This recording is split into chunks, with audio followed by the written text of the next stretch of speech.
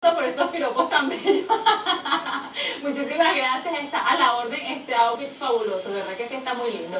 Chicos, y bueno, si de economía se trata, tenemos a nuestro compañero Rafael Nieves, que es el experto en darnos estos tips para mantener una buena economía. Así que vamos con nuestra sección Gerencia para Todos.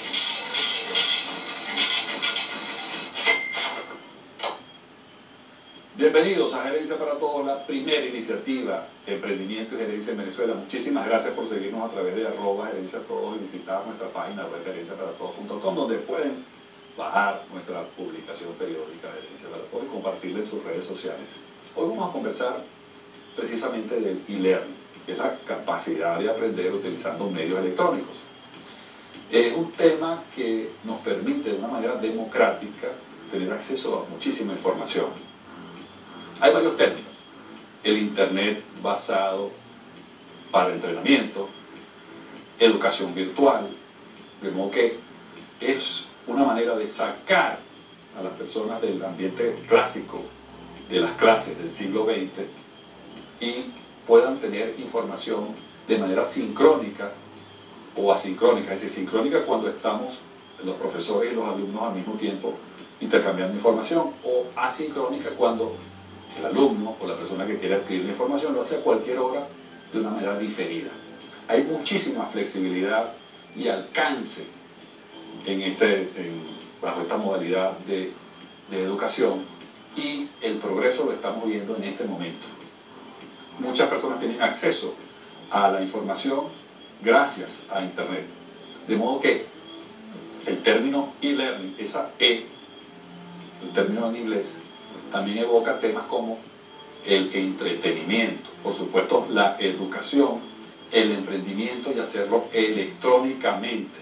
Es un principio que nos permite difundir más información a más personas de manera democrática y que puedan ir avanzando a la propia velocidad que la persona lo desee o que es capacidad de asimilar esa información. Así que esa E puede ser utilizada también como entusiasmo y como emoción para aprender. También, utilizando el término en inglés easy, no era mucho más fácil. Además, está en todas partes, por eso esa E también se aplica en inglés en el término everything, para todos, tal cual como esta, esta sección del programa. La tecnología nos sirve como pasaporte para la educación personalizada. El reto actual de la educación es la de disminuir los costos y al mismo tiempo mejorar la calidad. Mediante el e-learning, la educación se personaliza y el aprendizaje se realiza al ritmo que el estudiante decida a través de la interacción continua con un grupo de tutores en sesiones de un alumno o varios alumnos a través de un material especialmente programado para nosotros.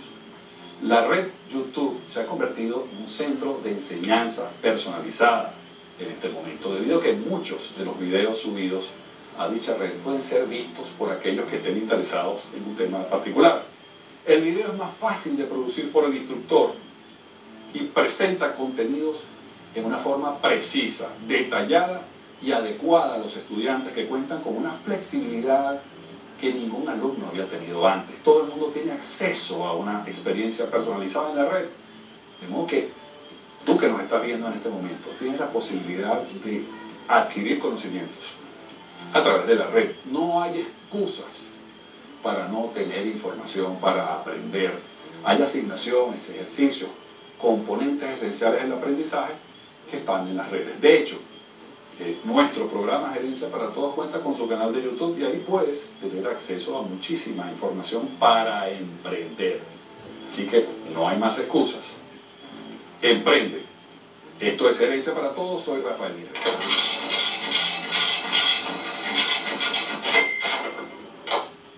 Bien interesante este tema que Rafael Nieves siempre nos habla y ahora de la internet definitivamente se ha convertido en nuestra mejor amiga. Allí en medio nos comentaba cómo podemos generar pues contenido de interés por las redes sociales y en YouTube. Ahora vamos a darle el pase a mi compañero Gleymar.